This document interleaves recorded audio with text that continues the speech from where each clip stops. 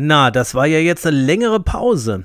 Ich werde es heute einfach mal versuchen. Ich hoffe, meine Stimme hält durch. Es gibt einiges zu erzählen, sowohl im Bereich Pfeife als auch im Bereich Zigarre. Honig habe ich probiert, Kaffee habe ich probiert. Hört einfach mal zu. Viel Spaß. Are you ready? Smoke the park. Will you sit down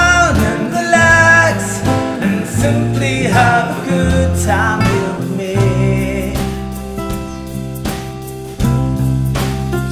Set aside your fear and your greed and simply live the moment and you'll see you're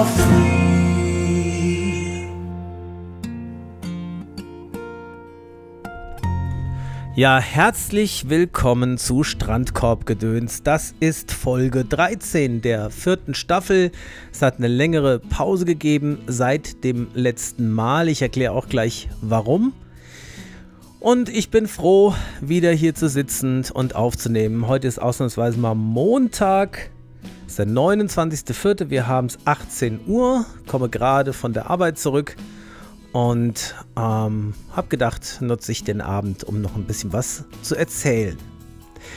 Ja, vielleicht gleich mal zu Beginn zu dem Cover, was ihr da heute seht.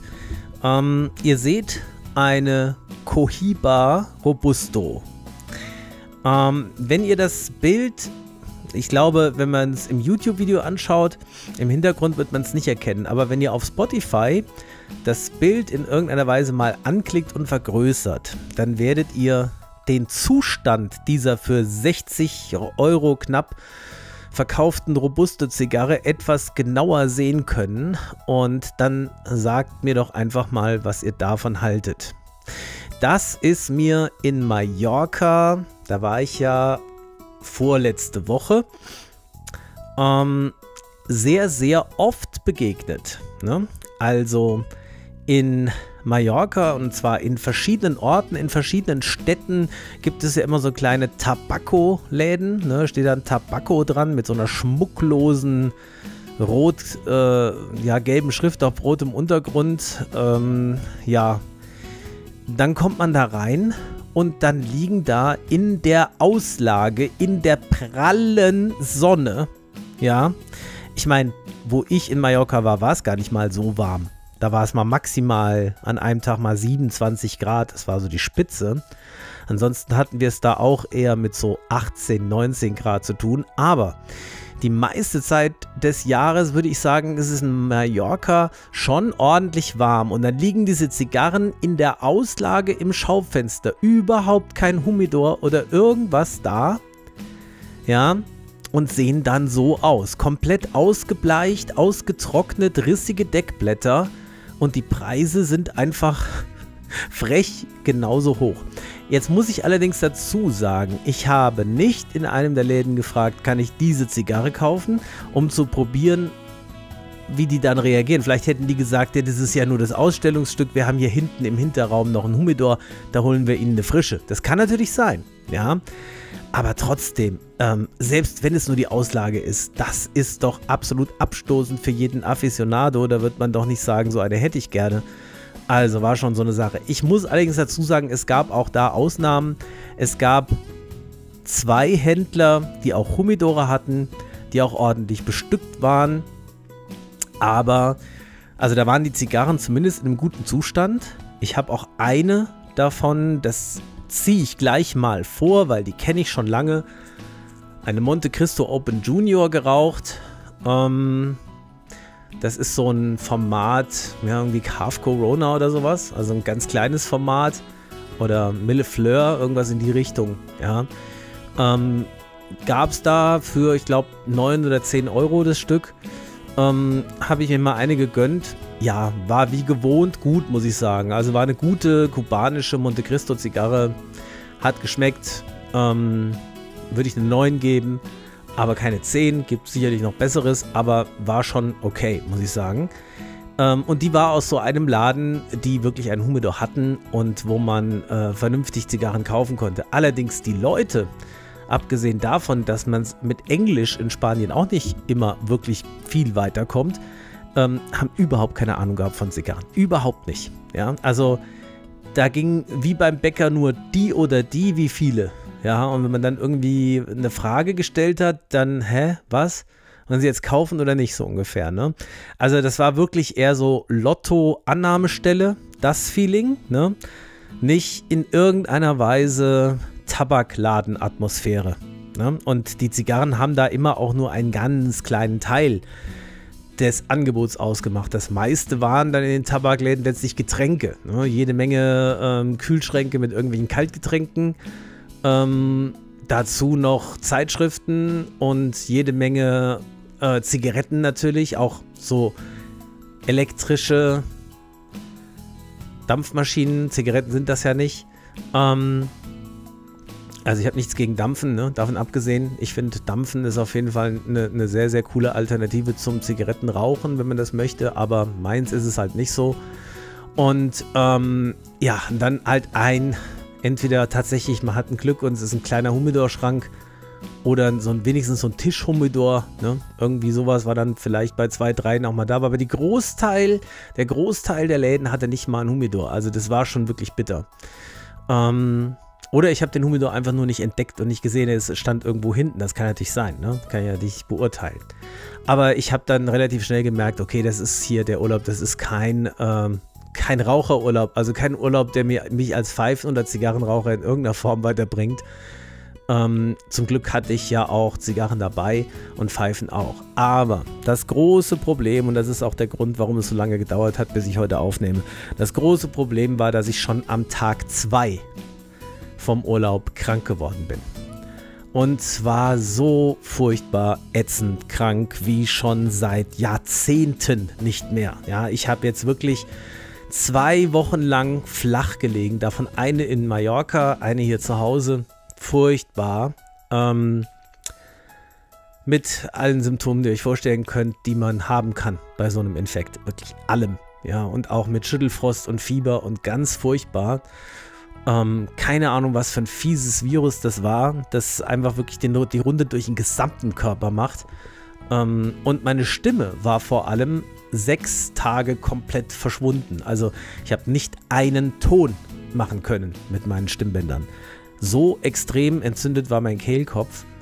Und ähm, ja, gestern war das schon wieder so, dass ich ganz gut reden konnte, habe ich gemerkt, aber ich habe so gemerkt, nach fünf bis zehn Minuten ist dann doch auch die Luft wieder raus, im wahrsten Sinne des Wortes. Aber heute scheint alles wieder hergestellt zu sein. Okay. Fangen wir mit dem Pfeifenthema an. Als erstes habe ich schon seit sehr langer Zeit einen Nachtrag zu leisten zur Stuttgarter Pfeifenmesse. Das ist jetzt ein bisschen sehr spät, ich weiß, aber ich will es zumindest noch gesagt haben. Denn ich hatte ja diese Pfeife von Ron Smith erwähnt, die ich mir gekauft habe mit dem Driftwood Finish und dass ich die so toll fand.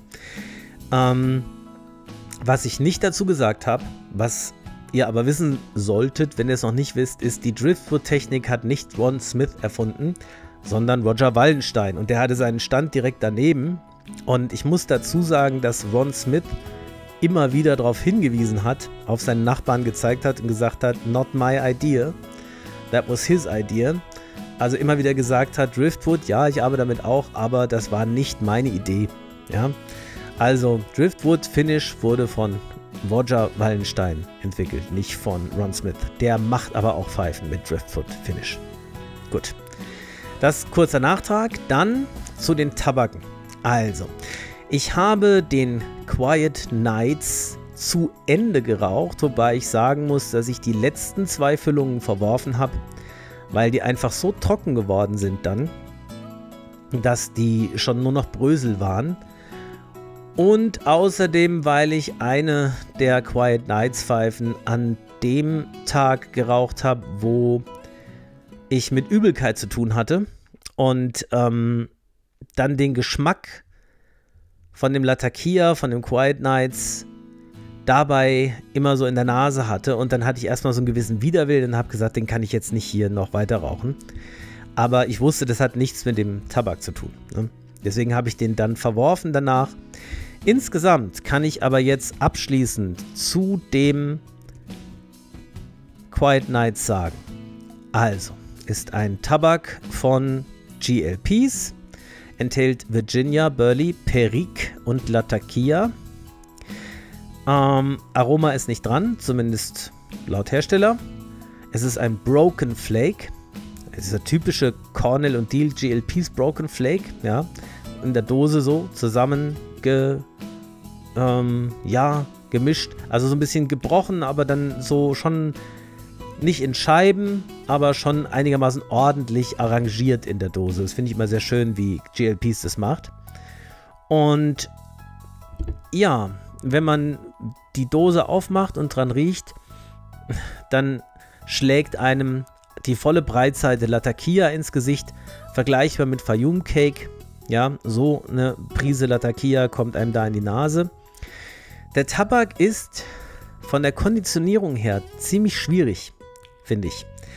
Er ist so noch ziemlich feucht, wenn man ihn frisch aufmacht. Wenn man ihn allerdings einen Tick zu lange trocknet, ist ein ganz schmaler Grad, dann ist er brüchig und völlig ausgetrocknet.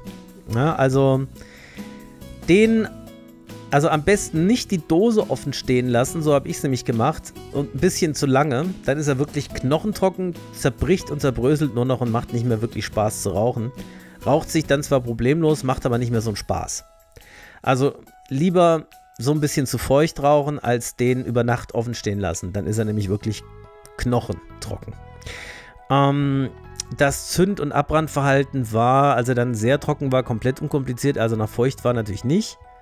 Da ähm, hat es dann auch ordentlich geblubbert in der Hälfte der Pfeife und hat sich richtig Kondensat gebildet und war auch insgesamt so relativ schwierig zu rauchen. Ähm, ist dann relativ warm geworden, solche Dinge. Aber das lag ja einfach in der Feuchtigkeit, also das hat ja mit dem Tabak nichts zu tun. Und wenn man diesen Tabak jetzt einen Pfeifenkopf davon raucht, dann sind alle Drittel völlig gleich im Geschmack. Ne, das ist so ein typischer Engländer, der seinen Charakter und seinen Geschmack von Anfang bis Ende des Pfeifenkopfs bis zum letzten Krümel niemals verändert. Und der ist durchgehend kräftig, würzig und ich würde noch die Worte knusprig und knackig verwenden. Das äh, ist äh, um den Charakter, also dieses sehr bitzelige Latakia Perique Gemisch so ein bisschen zu charakterisieren. Also ein sehr kräftiger, auch Nikotin, schon mittel bis medium, jetzt nicht stark, aber schon auch nicht nur mild, ja. Also sowohl vom Nikotin als auch vom Aroma her eine ganze äh, Sache, eine, eine richtige Ansage, keine Schüchternheit hier, keine halben Sachen, so ein richtiger Seemannstabak, ja. Ich habe wie gesagt ungefähr 40 bis 45 Gramm davon geraucht und mein Fazit, nachdem ich die Dose leer hatte, obwohl ich die letzten zwei Füllungen verworfen habe, war so, na mal gucken. Vielleicht finde ich einen noch besseren Engländer, aber der hier wird wahrscheinlich nochmal irgendwann in meinem Einkaufswagen landen. Die Subs, die ich ihm gegeben habe, bringen ihn auf eine Punktzahl von 92. Also, von insgesamt zwölf Füllungen habe ich sechsmal den perfekten Smoke erlebt mit 10. Viermal die 9 und nur ein einziges Mal, ein einziges Mal eine 5.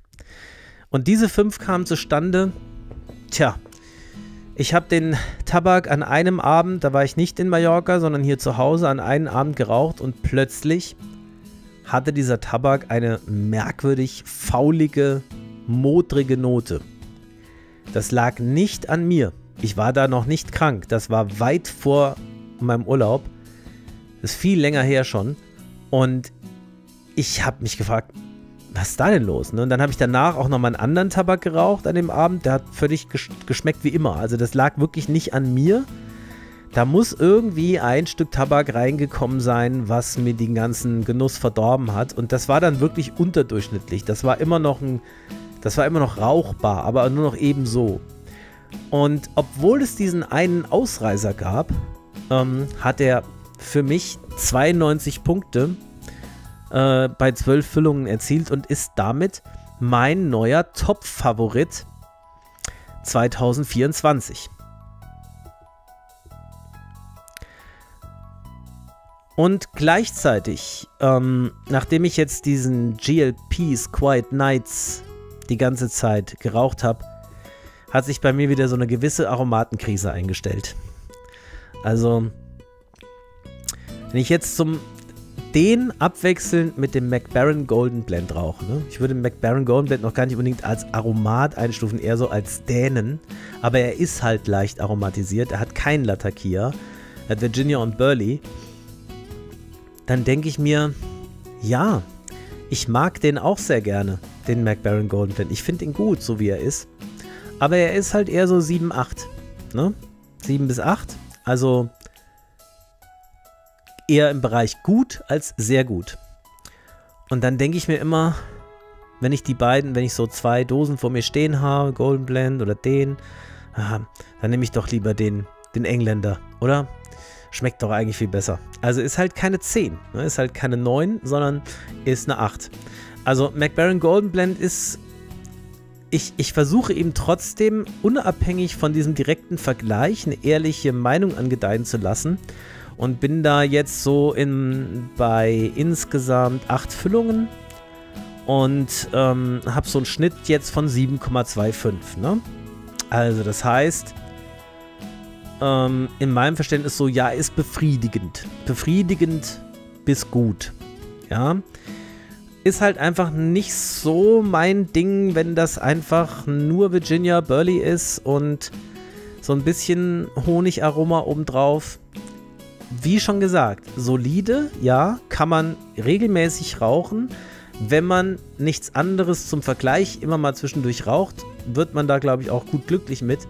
Aber wenn ich dann, wie gesagt, so eine Bombe wie den Free Minds oder den GLP Quiet Nights für meinen Geschmack eine Bombe rauche, ja, dann, dann lust der halt im Vergleich ziemlich ab, der McBaron Golden Blend. Deswegen fällt es mir gerade super schwer, ähm, den immer mal wieder weiter zu rauchen. Werde ich aber tun. Weil er ist einfach ein so guter Tabak, der hat es verdient, dass man sich ihm widmet, auch wenn man nicht von Anfang an nur begeistert ist. Und der Bill Bailey's Black Blend geht mir immer mehr auf die Nerven. Ähm, Obwohl es auch immer mal wieder Momente gibt, wo ich sage, so komm, der ist doch sehr gut eigentlich. Ne? Er kriegt auch immer mal wieder eine 9, aber es waren schon viele Sechser und Fünfer da auch dabei und ein Siebener. Also, ja, bin ich immerhin bei 7,4. Das ist im Schnitt noch ein bisschen höher als der McBaron Golden Blend. Ja. Dann weiß ich gar nicht genau. Nee, von dem habe ich noch nicht erzählt. Jetzt habe ich einen neuen Tabak aufgemacht von GLPs. Den gibt es erst relativ kurz in Deutschland, aber von dem hatte ich schon mal eine Probe von der Vintage-Portion. Heißt, ich kenne ihn schon ungefähr. Das ist der Maltese Falcon von GLPs. Den habe ich jetzt bisher viermal geraucht und da war nichts unter 9 dabei. Also auch wieder ein Top-Favoriten verdächtiger Tabak. Obwohl ich, während ich ihn rauche, ihn immer mega gut finde und wie gesagt, entweder 9 oder 10 sage am Ende, hat er ein bisschen eine anstrengende Komponente.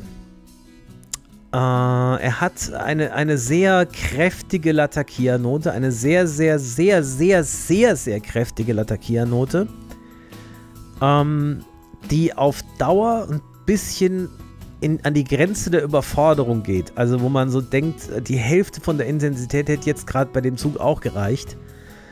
Ähm, ich habe ihn mit und ich habe ihn ohne Filter geraucht. Ich finde ihn ohne Filter ist, ist das so, dass ich da oft an so eine Grenze komme, wo ich denke, boah, also kann es nicht ein bisschen milder sein vom Geschmack her? Muss es so unglaublich äh, brutal sein? Dann ziehe ich halt wirklich nur ganz, ganz, ganz, ganz, ganz, ganz kleine Züge, dann geht es immer. Wenn ich ihn mit Filter rauche allerdings, verliert er. Er verliert wirklich deutlich an. Also er wird sehr, sehr abgemildert, abgedämpft, abgepuffert, kriegt Handschellen angelegt. Ne? Also der Filter legt diesem Tabak Handschellen an. Und das macht ihn deswegen aber nicht besser, sondern schlechter aus meiner Sicht. Er ist zwar dann weniger krass intensiv, aber äh, das ist so ähnlich wie wenn man ähm, Musik nicht leise dreht, sondern nur die Höhen und die Bässe rausnimmt. Versteht ihr, was ich meine? Also er, er verliert ein bisschen an seinen Charakter, an seiner Vielfältigkeit, an seiner Abwechslungs... Äh, also an der, an der Ab... an der... ja, an der Vielfältigkeit der Aromen, die sich beim Rauchen in der Nase zeigen. Ne, er wird insgesamt flacher, langweiliger und weniger intensiv. Und, ja, also verliert. Nicht so, dass man da hinterher sagen muss, er schmeckt nicht mehr, aber es ist dann keine 10, es ist eher eine 9. Ne? Aber wie gesagt, das ist ein Tabak, dem würde ich auch nicht gut tun, wenn ich den jetzt jeden Tag rauchen würde, weil das weiß ich genau. Wenn ich davon jetzt fünf Pfeifen hintereinander nur rauchen würde, dann würde ein Punkt kommen, wo ich sage, wow, nee, nee, jetzt brauche ich mal was anderes. Ne, das wird mir jetzt zu krass. Das ist so ähnlich, wie man so sehr, sehr würzige Chips oder so hat. Sehr salzig, würzige Chips. Die ersten vier, fünf denkt man, wow, sind die gut gewürzt. Ja, das sind mal geile Chips. Aber so nach zwei Händen voll denkt man, oh, gib mir was zu trinken oder gib mir irgendwas anderes, was das Ganze ein bisschen abmildert. Ich kann da nicht mehr so viel von essen. So ist es hier auch, ja. Ein sehr, sehr, sehr guter Tabak, aber schon auch sehr fordernd. Und ich hatte ihn mit Gestern war übrigens, nee, Moment, gestern nicht, vorgestern. Vorgestern war wieder Pfeifenstammtisch Mittelhessen. Wir hatten einjähriges Jubiläum. Ähm, das haben wir auch gefeiert. Johannes hat Kuchen mitgebracht und wir haben da ähm, zwar nur zu viert, aber doch wieder einen schönen Tag gehabt. War auch ein neuer Pfeifenraucher dabei. Falls du zufällig einen Podcast hörst, sei herzlich gegrüßt. Schön, dass du jetzt mit dabei bist. Und ja, ähm, haben da nochmal Tabake getauscht und ausprobiert. Und da hatte Johannes einen Golden Ambrosia von McBaron noch ohne äh, Warnhinweise, also eine ganz alte Dose dabei. Ähm, die haben wir beim ersten Stammtisch geschenkt bekommen und die hat er jetzt dann praktisch zum ersten Jubiläum mit uns geöffnet. Und dieser Golden Ambrosia ähm, hat, ja, wir fanden den interessant, ja, aber, aber ich fand ihn nicht überragend. Also er war gut geaged, ne? Er ist ähm, als Aromat wirklich gut geaged, also den Tabak konnte man noch erahnen. Und das Aroma, ja, was war das für ein Aroma? Also wir waren uns nicht einig. Der eine sagt Kirsche, der andere sagt Mirabelle, der nächste sagt, das ist eher Mango, der nächste sagt, es ist Zitrone. Ja, und wenn man dann mal so auf verschiedenen Plattformen guckt, so Bagger Reviews oder auf der Herstellerseite oder was auch immer, steht immer nur fruchtige Aromen oder Zitrusfrucht oder sowas. Ich hatte zwischendurch so den Eindruck, was es am ehesten beschreibt, den Geschmack, ist irgendwie so Kirschlikör, dachte ich. Aber wie gesagt, Johannes war eher der Meinung, Fla äh, nicht Pflaume, sondern Aprikose, Mirabelle, Mango, so die Richtung. Ich habe gesagt, äh, das ist egal, er, er, man konnte ihn rauchen, aber ich muss ehrlich sagen, also 100 Gramm davon wären eine echte Aufgabe für mich das würde, das wäre mir schon eine Last, muss ich sagen. Also ich fand ihn ganz nett, aber ich ähm, würde ihn nicht zu meinem All-Day machen. Aber das, der Tabak war schon also spürbar geaged und auch in seinem Geschmack, für meinen Geschmack, äh, dadurch besser geworden. Ja. Genau. Das war gestern der, vorgestern der Pfeifenstammtisch. Und ansonsten gibt es zum Pfeifrauchen jetzt auch tatsächlich nicht so viel Neues zu erzählen. Wir können gleich weitergehen zu den Zigarren. Da gibt es eine ganze Menge zu erzählen. Also jetzt Zigarren. Ähm, abgesehen von meinen Erlebnissen in Mallorca mit den nicht vorhandenen Humidoren und der Auslage von Zigarren in der prallen Sonne, ähm, habe ich eine ganze Menge Zigarren probiert seit dem letzten Mal. Und ich fange einfach mal vorne an die allererste, die ich nach der letzten Folge probiert hatte, war nämlich die Blackened Zigarre. Die habe ich aus den USA bestellt. Also ähm, die kriegt man hier leider nicht in Deutschland. Und ähm, die ist, äh, und das ist der entscheidende Punkt, deswegen habe ich sie gekauft. Vielleicht klingelt bei euch auch schon eine Glocke, wenn ich sage, die heißt Blackened, die Zigarre. Was sagt euch Blackened? Die Metal-Freunde unter euch werden sofort wissen, der erste Track auf der Injustice for All von Metallica, Blackened. Ja. Mega geiles Lied und niemand geringeres als James Hetfield und den habe ich bei den Zigarren-Aficionados, als ich bei der letzten Folge über Zigarren-Aficionados die berühmte gesprochen habe, glatt vergessen. Ja, James Hetfield, ein Zigar-Aficionado sondergleichen hat diese Zigarre mitentwickelt. Das war ein Muss für mich. Ja? Also es ging gar nicht anders. Die musste ich probieren. Und deswegen habe ich zwei davon, und zwar im Toro-Format, aus USA bestellt und mit einem Kumpel, mit dem ich früher zusammen in der Band gespielt habe, verraucht. Und äh, ja, das war ein wahrliches Fest, kann ich nur sagen. Also schon mal vorneweg, das ist eine 10. Ja, ähm, der Rapper, das Um, also das, das Deckblatt, ist aus Mexiko, Mexican San Andreas. Der Binder, also Umblatt, ist Connecticut Broadleaf. Und der Filler ist Nicaragua und Pennsylvania Broadleaf. Also ein Mix aus Nicaragua, Connecticut und Mexiko. Schon sehr spannend. Und das Ganze ist die Maduro-Version gewesen. Es gibt auch noch eine helle Version von der Blackened, aber ich habe die Maduro, äh, Maduro probiert. Ja, was soll ich sagen? Diese Zigarre ist. Ja, das, das passt so richtig zu dem Lied Blackened. Ne? Ohne Schnörkel und ohne jegliche Süße. Ja, die ist einfach nur straight, die Zigarre. Die ist einfach geradeaus ins Gesicht stark, kräftig, herb, leicht bitter, herausfordernd, scharf, würzig, ordentlich Nikotin drin, ja. Also, das ist ein richtiges Brett, die Zigarre. Aber trotzdem, ähm, trotz fast völlig fehlender Süße, durchgehend ein Hochgenuss. Wirklich anderthalb Stunden oder so. Ein ganz großer Genuss. Kann man auch sehr weit rauchen, bis man sie kaum noch halten kann.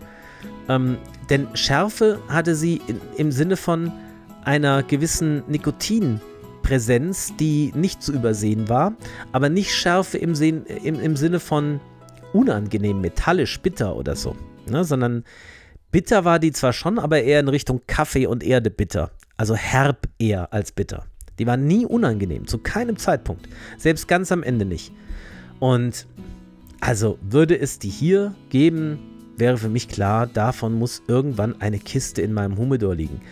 Also das war wirklich ein, ein großartiger Fang, diese Black and Cigar. Damit hat ähm, meine Reise nach der letzten Folge angefangen. Und dann ging es weiter mit, mh, hm, jetzt muss ich mal gucken hier in meine eigenen Aufzeichnungen, könnt ihr auch gerne mit reingucken. Ähm, die nächste überspringe ich mal, das hat einen Grund. Jetzt habe ich eine probiert, die heißt Buena Vista Araperik. Okay. Die Zigarre ist mir von mehreren Seiten aus wärmstens empfohlen worden. Ist gesagt worden, das ist wirklich eine, eine tolle Zigarre, tolles Preis-Leistungs-Verhältnis, probier die mal. Also habe ich das getan. Und zwar die Robusto davon. Ui, also. Ähm, ich fange mal so an. Im ersten Drittel ging es noch. Ähm, das ist ja, in, in, dieser Zigarre ist ja ein Tabak enthalten, ein brasilianischer Tabak, der so ähnlich wie Perik verarbeitet wird. Deswegen heißt sie auch Ara Perik. Sie enthält ansonsten ähm, im, in der Einlage Brasilien, und das ist halt dieser Ara Perik, Dominikanische Republik und Peru. Das Umblatt ist aus Ecuador und das Deckblatt ist auch aus Ecuador. Ne? Äh, Connecticut. Ähm, wenn ich die dann weiter geraucht habe, nach dem zweiten Drittel, war dieses am Anfang noch etwas eher holzige mit diesem, aber schon von Anfang an auffällig essigsauren Geschmack. Der wurde immer schlimmer im zweiten Drittel. Und es ist hier von, ist ja immer mal die Rede von fruchtigen Noten in der Zigarre. Jetzt könnte man das fruchtig nennen, weil es einfach sauer ist, aber es war für mich nicht fruchtig, sondern es war einfach nur Brandweinessig, diese Art von Säure. Also eine geschmacklose, für mich geschmacklose und unangenehm beißende Säure. Ähm, spätestens am Ende vom ersten Drittel fand ich sie nur noch überbordend sauer, bissig und unangenehm. So ein Retro-Hail ging gar nicht mehr. Also ich konnte sie eigentlich schon gar nicht mehr genießen, weil das so in der Nase gebrannt hat. Und nicht nur in der Nase, auch die Mundschleimhaut hat gebrannt, als würde ich Chili essen. Und ich rauche wirklich sehr langsam Zigarre. Ja, also gerade bei Zigarre bin ich, glaube ich, ein extremer Langsamraucher. Anders als bei Pfeife, da wird mir oft gesagt, ich bin ziemlich schnell mit so einer Pfeife durch im Vergleich zu anderen. Aber so Zigarren, die rauche ich super langsam normalerweise. Ähm, und trotzdem hat die so gebrannt. Und dann kam ganz am Ende noch so eine Art, ja, ich will es mal Straßendreck-Aroma nennen dazu. Ja, und ich konnte die auf keinen Fall bis zur Bauchbinde rauchen. Ich habe dann irgendwann nach zwei Dritteln, ach, nach früher schon, einfach Schluss gemacht habe. Äh, äh, einfach Schluss gemacht damit, weil ähm, ich kann mich noch daran erinnern, dass ähm, da wirklich auch so viel ähm, Nikotin drin war, dass mir die Speiseröhre wehgetan hatte, als hätte ich das Sodbrennen meines Lebens. Und ich bin nun wirklich kein kein Mensch, der Nikotin nicht gewöhnt ist, aber die Haut, die hat mich auf die Bretter gehauen.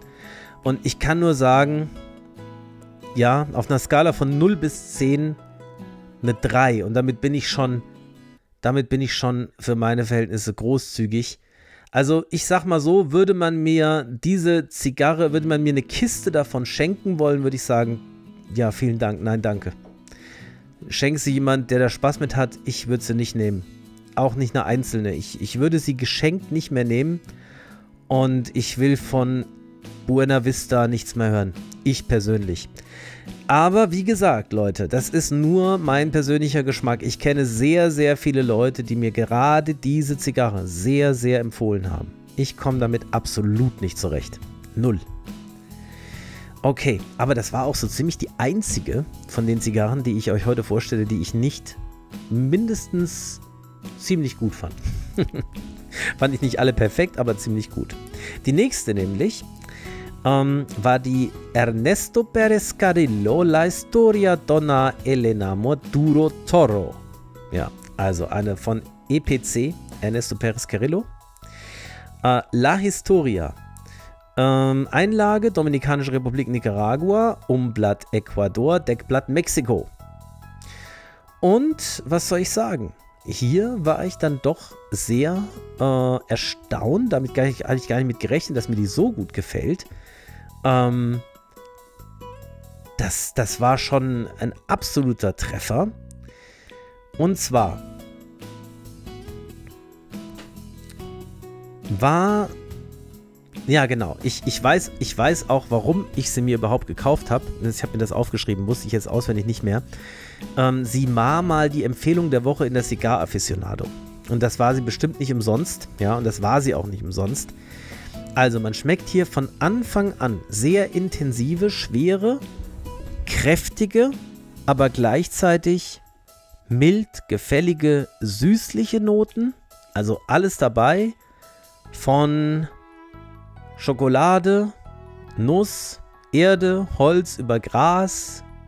Also grasige Noten, Creme, Schwarzbrot und ein kleines bisschen Brombeere war mein Eindruck. Bis zum Ende ein absoluter Hochgenuss. Der Geschmack variiert hier und da ein bisschen, aber das macht das Raucherlebnis nur interessanter. Auch ähm, keine unangenehme schmutzige Note am Ende. Sie wird nur ein bisschen kräftiger. Und das ist eine 10 für mich. Ne? Besser wird's nicht. Ähm, vorherrschend sind die äh, Aromen Schokolade und Kaffee. Und übrigens Zugwiderstand, Abbrandverhalten, alles überhaupt kein Problem. Wenn ich nichts sage, heißt es immer, die Zigarre war perfekt verarbeitet. Ne? War, ist gut runtergebrannt ist, äh, war vom Zug her unproblematisch und ähm, ist nichts passiert, Deckblatt eingerissen oder irgendwas. Das ist übrigens, muss ich sagen, mir schon längere Zeit jetzt nicht mehr passiert. Ich hatte jetzt mehrere Male hintereinander sehr viel Glück mit der Zigarrenqualität.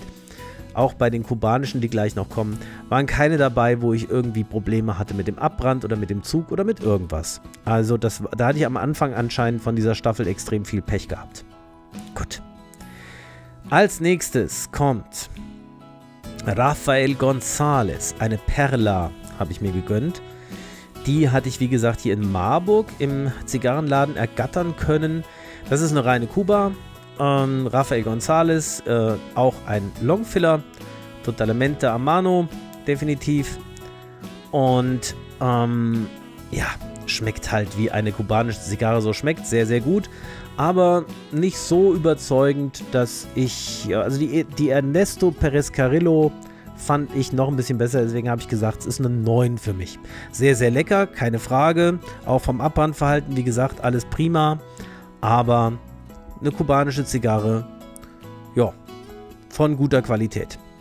Das gleiche mit der Partagas Serie D Nummer 4. Da muss ich natürlich dazu sagen, die war nochmal ein Tick besser. Also, die hat mir persönlich nochmal ein bisschen besser gefallen. Mmh perfekte Verarbeitung hatte ich da auch erwischt bei dieser Zigarre und dann kam dieser Kuba-Geschmack so richtig gut rüber. Dieses erdig, ledrig, holzige, super, super lecker. Hat mir sehr gut geschmeckt. Hatte ich, glaube ich, in Frankfurt mitgenommen. Dann, als nächstes hatte ich die Romeo y Giulietta Cetros Deluxe Nummer 3. Die hatte ich auch in Marburg mitgenommen und das war eine kleine Enttäuschung, muss ich sagen. Denn ähm, abgesehen davon, dass der Zugwiderstand unterirdisch war, wieder mal bei dieser hier, ähm, wirklich ausgesprochen schlecht, war ganz, ganz schwierig, die überhaupt zu rauchen. Dadurch ist auch überhaupt keine Intensität entstanden. Ich hatte überhaupt keinen Rauch in der Nase. Ja, gut, aber trotzdem immer noch eine 7. Denn das, was ich geschmeckt habe, war halt typisch Romeo und Giulietta und sehr lecker, aber halt 7. Ja, mehr nicht. Also ich finde es fast ein bisschen langweilig, über kubanische Zigarren zu reden, weil die schmecken ja doch alle gleich. Ja, also abgesehen von Cohiba, die nochmal ein bisschen krasser und stärker sind, und Trinidad, die vielleicht noch so eine besondere Süße haben. Aber so aus meinem, weiß ich, das ist meine Erinnerung, schmecken die alle sehr ähnlich. Da gibt es kaum Unterschiede. Gut, ähm, als nächstes hatte ich, jetzt muss ich gucken, die, genau, Vega Fina Nicaragua Robusto Tubo. Von der hatte ich mir auch sehr, sehr viel versprochen. Da hatte ich mich sehr drauf gefreut. Ähm, ich sag mal so, sie war eine der süßesten Zigarren, die ich überhaupt je probiert habe. Die war schon gewaltig süß. Also da hatte ich echt das Gefühl, ich äh, nehme Teelöffel Nutella in den Mund. Also nussig süß von Anfang bis Ende, aber auch sehr eindimensional und relativ mild, schüchtern würde ich sie schon fast einstufen. Mhm, Verarbeitung war perfekt, gar keine Frage, war super, aber hat mich jetzt nicht so vom Hocker gerissen. Also ich hatte da irgendwie mehr erwartet, ist für mich auch nur eine 7 in Anführungsstrichen. Also würde ich wieder nehmen, aber nicht unbedingt wieder kaufen. Ja. Gut, von der Monte Cristo Open Junior habe ich schon erzählt. Das nächste, was ich dann in Spanien in einem der wenigen Läden, die wirklich einen ausgedehnt großen und schönen Humidor hatten und die auch wirklich schöne Auswahl an Zigarren hatten, habe ich mir eine Romeo Giulietta Romeo Nummer 1 mitgenommen. So, das war nun der Tag, bevor ich krank wurde. Ich hatte mich an dem Tag total gewundert, dass ich so wenig von der Zigarre schmecke. Ich fand die relativ flach, relativ wenig charakterstark ähm, ja, also ganz, ganz schwache Noten, kaum, kaum unterscheidbar, was ich da wahrnehme. Kuba, ja, aber sehr, sehr, sehr, sehr mild und überhaupt kein bisschen intensiv. Für mich auch nur eine 7. Gut, jetzt sind es gar nicht mehr so viele. Ähm, die nächste überspringe ich, es hat einen Grund. In meiner Liste meine ich. Als nächstes hatte ich eine Alfambra Robusto Gordo. Das ist äh, eine interessante Zigarre mit einem extrem schönen Preis-Leistungs-Verhältnis. Die kostet gerade mal 5 Euro. Das ist ein Robusto Gordo-Format. Das Format mag ich nicht so. Ich mag eher Churchill, Corona, sowas, wo ich die ganze Zigarre ohne Probleme mit meinen Lippen umschließen kann. Wenn das so ein Riesenprügel ist, so ein riesen dickes Ding, ja gut, man könnte die anbohren, ne? das wäre noch eine Option, aber wenn die so riesig ist, dann habe ich immer das Gefühl, ich muss den Mund so weit aufmachen, um überhaupt dran ziehen zu können. dass ich gar keinen Space, keinen Platz mehr im Mund habe, wo ich Rauch unterbringen kann, wo ich gar nicht mehr wirklich bequem, lange und befriedigende Züge machen kann. Deswegen mag ich dieses Format nicht so. Also das Maximum für mich ist Robusto. Alles drüber finde ich schon, also würde ich nicht aktiv kaufen, bis auf diese Ausnahme hier. Ähm, einfach weil ich es auch mal wieder probieren wollte, ob es vielleicht doch was für mich ist, so ein großes Format. Aber es, ich merke, Robusto ist mein Ding. Maximal. Also ich würde von mir aus, wenn jetzt nicht gerade das Robusto-Format besonders gelobt wird, immer eher zu Churchill oder Corona greifen. Das sind meine Lieblingsformate. Aber lassen wir das Format mal weg.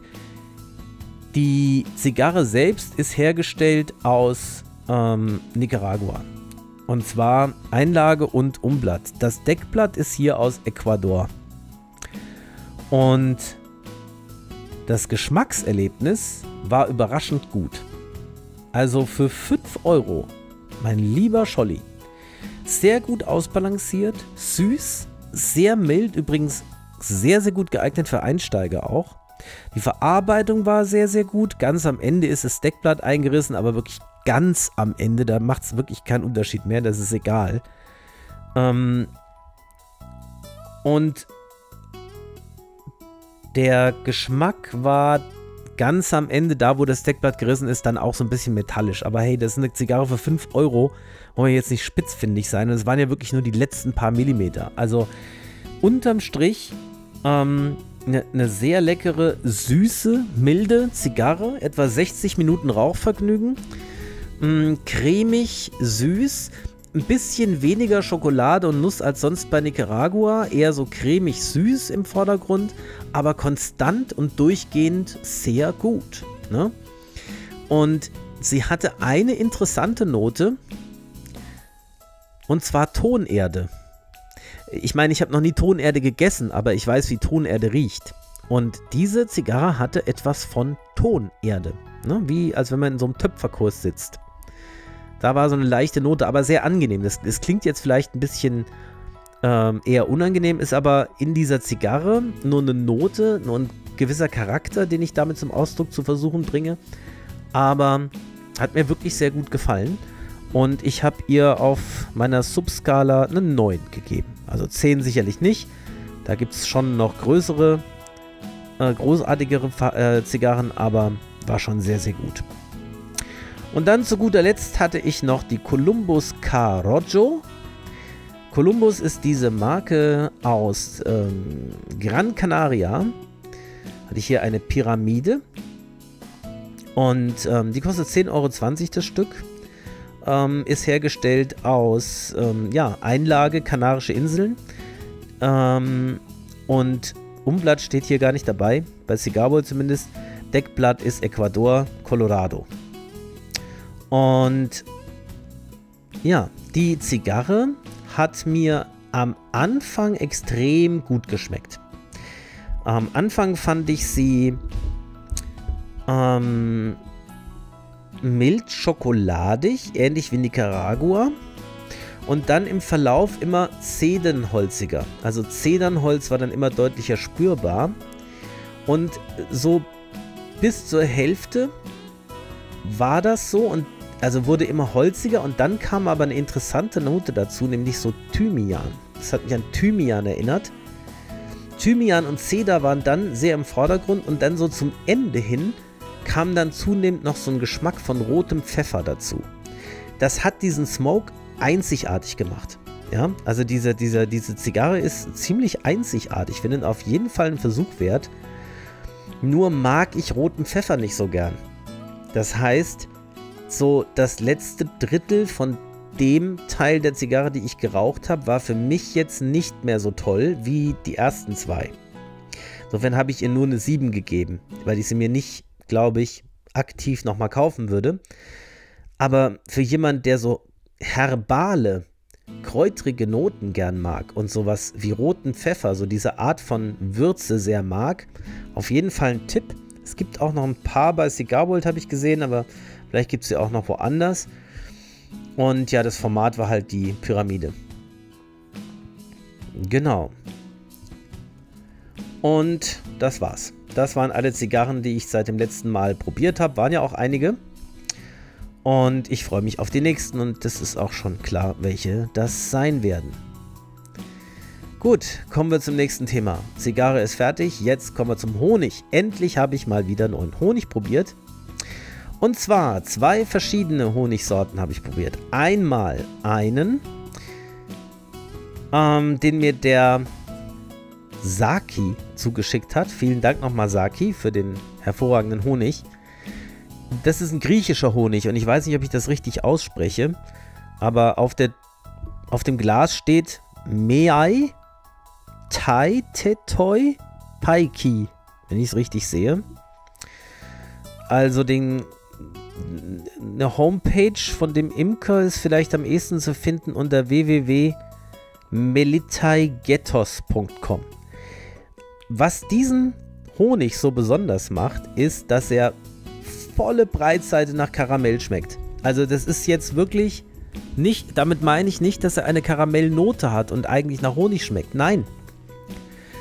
Wenn, wenn ich dir den Honig auf einem Teelöffel gebe und sage, das ist eine Karamellcreme, würdest du wahrscheinlich sagen, oh, leckere Karamellcreme und gar nicht auf die Idee kommen, dass das Honig ist schon, schon ein sehr spannender Honig. Äh, ist so mittelbraun in der Färbung, von der Konsistenz wie so eine Paste.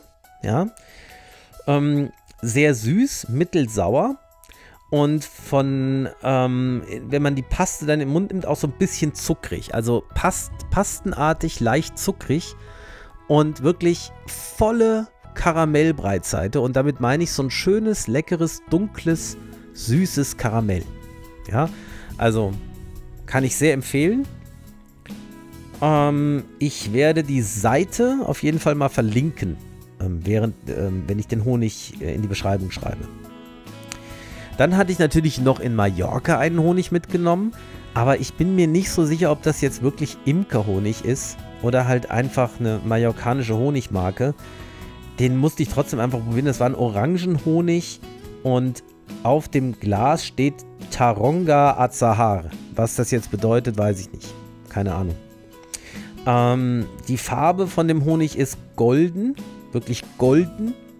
Ähm, die Konsistenz ist flüssig mit kleinen Kristallen drin. Er ist natürlich sehr süß und mittelsauer und schmeckt tatsächlich blumig und so ein bisschen nach Orange. Ne? Wie so eine Orange riecht, nach Orangenschale. Und das Mundgefühl ist so, flüssig mit so kleinen Zuckerkristallen drin. Also es ist ein sehr leckerer, sehr süßer, sehr gefälliger Honig. Aber ob es jetzt wirklich original Imkerhonig ist oder was genau dahinter steckt, habe ich jetzt nicht nachgeschaut, kann ich nicht genau sagen. Aber ja, ich habe gedacht, wenn ich schon mal in Mallorca bin, in einem anderen Land, wo auch immer, nehme ich da auch mal lokalen Honig mit. So viel zum Honig. Kommen wir weiter zum nächsten Thema. Und zwar zum Thema Kaffee. Ich habe schon seit längerer Zeit, mittlerweile ist das Kilo schon fast aufgebraucht. Zwischendurch hatte ich übrigens mal wieder meinen Borbone ähm, Doro. Also das ist mein Standard-Kaffee, von dem ich einfach weiß, dass er mir gut schmeckt. Den hatte ich zwischendurch mal wieder und jetzt eine lange Zeit nichts über Kaffee erzählt. Aber jetzt habe ich mal wieder einen neuen probiert und zwar heißt der Mehari Pesalakwa. Und das ist ein sehr dunkel gerösteter Espresso ähm, mit äh, sehr schokoladigen, süßen Noten, einer gewissen Bitterkeit, aber fast ohne jegliche Säure. Also ein Kaffee, der mir sehr, sehr, sehr gut schmeckt. Kann ich sehr, sehr empfehlen. Kaffee Mehari Pesalacqua. Ein schöner Espresso. Ne? Das ist natürlich nur für die Siebträgermaschine geeignet. Also ich kann mir nicht vorstellen, dass der als Filterkaffee funktioniert. Ganz sicher nicht. Aber als Espresso wirklich sehr gut. Habe ich auch immer noch in meiner Mühle. Ist immer noch nicht leer. Interessant ist bei dem Kaffee, dass er einen relativ hohen Robusta-Anteil hat, nämlich 45% Robusta. Also glaubt übrigens nicht, dass 100% Arabica immer der beste Kaffee ist. Ne, es wird ja sehr, sehr viel Wert darauf gelegt, dass man bloß nicht diesen billigen und einfachen Robusta da zu viel mit drin hat, dann hat, kriegt der Kaffee so einen Ruf, als wäre er irgendwie so ein Billigprodukt. Das ist völliger Unsinn. Also, wenn das gut gemischt ist, Robusta ist zum Beispiel viel koffeinstärker und ist viel weniger sauer. Er ist bitterer als Arabica, aber weniger sauer. Und der kann gerade bei Espresso den entscheidenden äh, Vorteil bringen, wenn der da gut vertreten ist. Also ich bin mittlerweile weg von dieser Idee, dass möglichst viel Arabica möglichst gut sein soll. Gut. Kaffee, kurzes Thema. Jetzt geht's weiter mit einem Buch, das ich gelesen habe, und zwar ein Comicbuch, was mir ein Freund zum Geburtstag geschenkt hat. Es heißt Hier. Ich habe jetzt die englische Version, es würde auf Deutsch ja auch Hier heißen. Eines der wenigen Worte, was wirklich gleich ist in Englisch und Deutsch.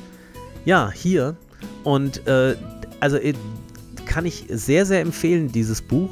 Ähm, könnt ihr mal googeln, ob ihr das irgendwo findet ähm, zum Bestellen. Hier ähm, handelt eigentlich von nichts. Es hat keine Handlung. Es ist einfach nur ähm, die Aufnahme oder beziehungsweise die gedachte Aufnahme einer bestimmten Stelle auf der Welt, ja, die ähm, zu verschiedensten Zeitpunkten im Zeitkontinuum von 20 Millionen Jahren vor Christus bis 2080, ja, in Dystopien und so weiter, immer wieder anders dargestellt wird. Und der Autor springt da ganz interessant hin und her zwischen zum Teil 1860, dann wieder 1790, dann wieder 1980, dann wieder 2010, dann wieder 2050, dann wieder 20 Millionen Jahre vor Christus. Dann, ne, also so sieht man dann immer diese Stelle, die da ähm, dargestellt wird. Das, ist, das fängt in einem Haus an, irgendwie in den 1960ern. Da steht dann da halt ein Haus, aber die gleiche Stelle wird halt auch 5000 vor Christus, 15.000 vor Christus und so weiter gezeigt. Dann ist da natürlich nur Wildnis oder vielleicht sogar nur Lava, ne, wenn man sehr weit zurückgeht. Also ist schon, schon sehr, sehr schön gemacht. Und es gibt keine Spannungskurve da drin. Es gibt keine Handlung und es gibt, also zumindest habe ich keine entdeckt. Vielleicht würden irgendwelche Superinterpretatoren da auch irgendeinen Sinn oder eine Handlung drin sehen. Für mich ist der Sinn dieses Buchs einfach die Idee, sich mal ähm, einen Ort anzuschauen, wie er durch die Zeit reist. Also die Zeitreise eines Ortes auf dem Planeten Erde. Fand ich super toll. Ähm, habe ungefähr zwei Stunden dran gelesen, weil ich mir die Bilder wirklich sehr, sehr genau angeschaut habe. Vielleicht auch anderthalb, ich weiß es nicht mehr genau. Aber das waren schöne anderthalb Stunden. Und das ist auch so ein Comic, den ich mir immer mal wieder angucken würde, glaube ich. Das ist nichts, was, was man nur einmal liest und dann stellt man es ins Regal. Das ist was, was man auch mal Besuchern zeigen kann. Äh, weil man kann das, äh, wenn man es nicht so ganz genau durchschaut, kann man doch einfach mal durchblättern. Ne? Einfach nur die Jahreszahl angucken und das Bild dazu. Und die einzelnen Szenen, die da passieren, einfach mal weglassen. Dann kriegt man schon einen Eindruck von dem Buch. Also kann ich sehr, sehr empfehlen. Und dann ist es mir ein Bedürfnis, über einen Film zu reden, den ich jetzt endlich mal geguckt habe, nämlich Dune. Ja, der Wüstenplanet. Jetzt muss ich dazu sagen, ich kannte Dune nur aus der 1980er Verfilmung mit Kyle MacLachlan, Sting, Jürgen Prochnow und so weiter. Ne? Diese alte Version von Dune. Ich habe das Buch nie gelesen, und ich denke, dass ich das noch tun werde, nachdem ich jetzt beide Filme gesehen habe. Denn als ich den neuen Film gesehen habe, dachte ich erstmal, ja, ähm, der alte hat mir besser gefallen, von der ganzen Atmosphäre her, von der ganzen Art her, aber man muss auch sagen, wisst ihr, als der Film rausgekommen ist, da war ich ein kleiner Junge und schon da ein absoluter Sting-Fan. Und allein, dass Sting mitgespielt hat, war für mich ähm, eine Offenbarung. Ähm, und ein, musste ein guter Film sein, ja. Kyle McLachlan mochte ich damals auch. Da kannte man ihn so aus Twin Peaks und so, ne? Also ne, ne, ein ganz toller Film für mich. Und für mich war immer das Großartigste an Dune waren die Schallmodule. Ja, wie dann äh, Paul auf dem Wurm reitet und mit seinen Cha, Cha, mit seinen, mit seinen Schallmodulwellen da um sich geschossen hat. Das war für mich halt Dune, die Schallmodule. Jetzt habe ich Dune 2 geguckt, weil bis dahin hätte ich Schallmodule erst gar nicht erwartet, aber jetzt habe ich Dune 2 geschaut und denke, wann kommen denn die Schallmodule?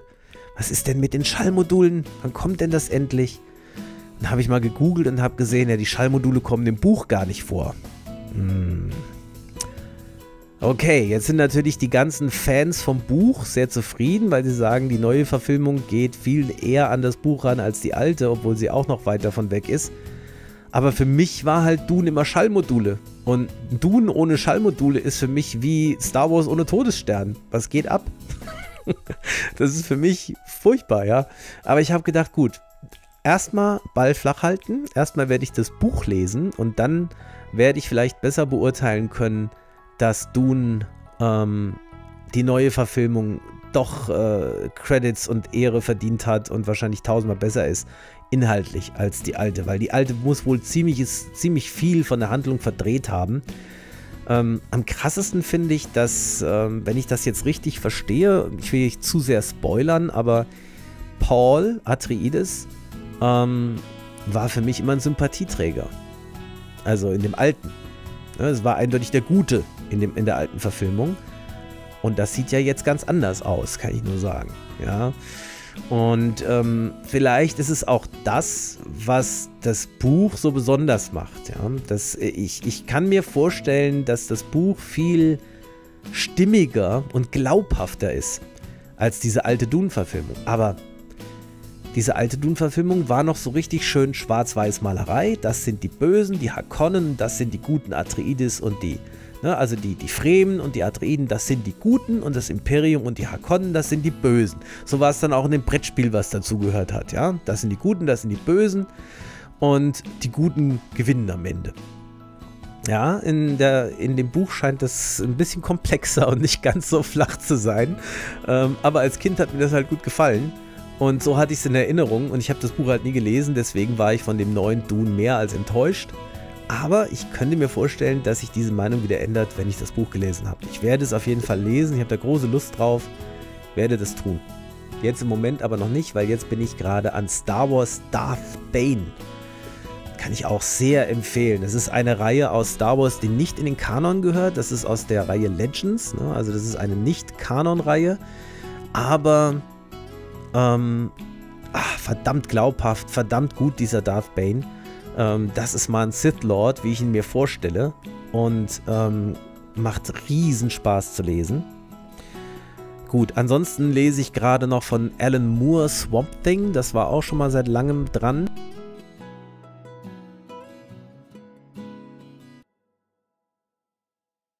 kauft. Manchmal fragt man sich ja, was da los ist. Ne? Dann nimmt man das Buch aus, also das Buch ist erstmal nicht nur einfach ein Buch, sondern das Buch ist nochmal in der Hülle drin. Und wenn man es aus der Hülle rauszieht, dann ist der Umschlag nicht nur bedruckt, sondern auch noch so samtartig eingepackt. Also so von der Oberfläche her, also fast wie Samt. Das ist schon echt, da es steckt schon viel Liebe drin in dieser Ausgabe.